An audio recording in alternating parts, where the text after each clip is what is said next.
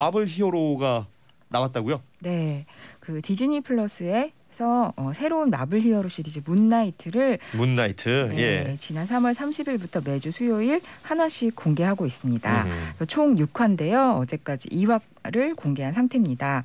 네, 역시나 마블 만화가 탄생시킨 동명의 영웅이 주인공이고요. 네. 그 문나이트라는 주인공이 원래 어, 원작 만화에서는 다중인격 장애를 겪는 인물이고 이렇게 여러 인격을 어. 넘나드는 가운데 이집트 달의 신인 콘슈의 기사로 거듭난다. 이제 이런 내용이거든요. 저희 또래들은 이 문나이트 그러면 아마 나이트클럽 생각하시는 분들도 제법 있을 텐데 어, 그런 전혀 생각- 다른 이야기죠.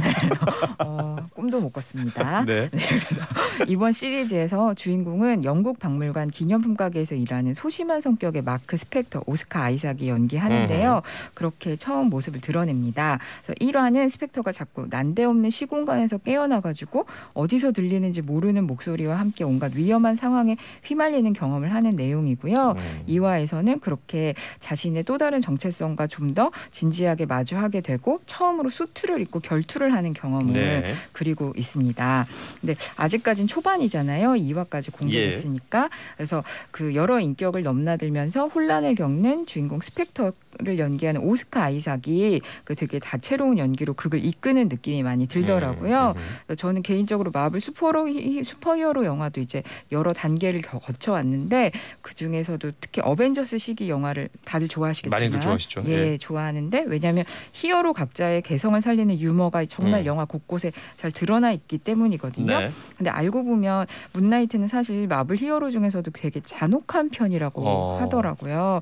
근데 아직 극 초반이라 그런지 이런 착한 성격의 스펙터가 다중 인격 장애 혼란을 겪는 모습을 되게 재치 있게 그려가지고 어. 그게 되게 재밌었어요. 그래서 슈퍼히어로 영화들이 좀 진지해지면 세계를 구원해야 된다. 막 그렇죠. 이러면서 되게 네. 진지해지잖아요. 근데 그런 느낌보다 는 아직까지는 아, 스펙터가 거치는 그런 기상천외한 음. 혼란을 아기자기한 유머로 보여주는 느낌이 어, 되게 친근하게 다가와서 또 그걸 찰떡으로 소화하는 아이삭의 연기가 굉장히 저- 눈에 들어오더라고요. 그러니까 시리즈 초반이니까 아무래도 이제 뭐 거대 담론보다는 이제 소동 위주의 어, 예, 그렇습니다. 이런 내용들이 그려지고 있을 텐데 지금 말씀해주신 것처럼 오스카 아이삭이라는 배우가 마크 스펙터 이 문나이트 주연이란 말이에요.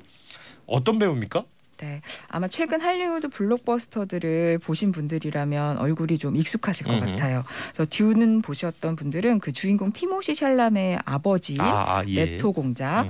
또 뭐 최근 나왔던 스타워즈의 속편 3부작 중에서는 저항군 최고의 파일럿인 포 다메론 음. 또 엑스맨 아포칼립스에서는 아포칼립스를 연기한 인물이거든요. 아, 아포칼립스는 이제 분장이 많이 돼 있어가지고 예. 어, 못 알아보실 수도 있겠네요. 그러면 네. 네, 이런 대작에 바삐 불려다녔다는 사실 자체가 어, 지금 할리우드에서 어떤 역을 맡겨도 안정감 있는 연기와 묵직한 존재감을 뽐내는 배우라는 걸 인정받고 있다. 네. 그걸 알려주는 셈이고요.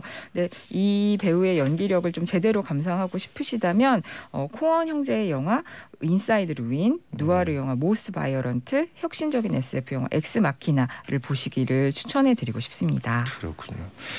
자 오스카 아이작 외